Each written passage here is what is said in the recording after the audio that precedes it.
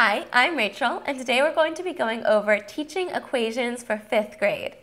So in fifth grade, um, you're starting to become more familiar with perimeter and area. So I've decided to focus on that for today because um, that's a very important equation. It'll help the fifth graders, you know, later on in their lives when they're studying geometry. Uh, so one important um, equation for them to look at is the perimeter of a rectangle. We write that as 2 times the length plus 2 times the width. That's the perimeter of a rectangle. We also have area of a rectangle. That's an important equation for them to look at.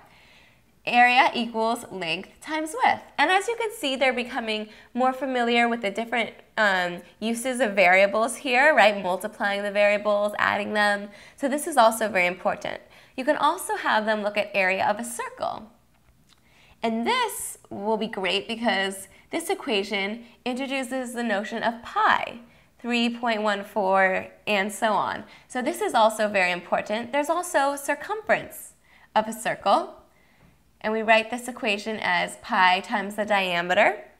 And this will also help them, you know, visualize the shapes. As they look at this equation, they can see, oh, okay, well, this is going around the circle, whereas the area is filling in the whole circle. The perimeter is like the fencing of the rectangle, where the area is filling in the whole rectangle. So these are some important equations for them to look at.